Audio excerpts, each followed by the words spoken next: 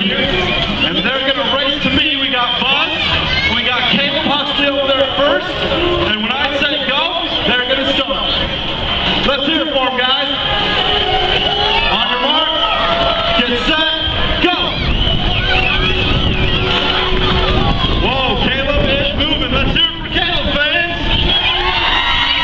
Right third, she said third, and Caleb wins. Good job, Caleb. Caleb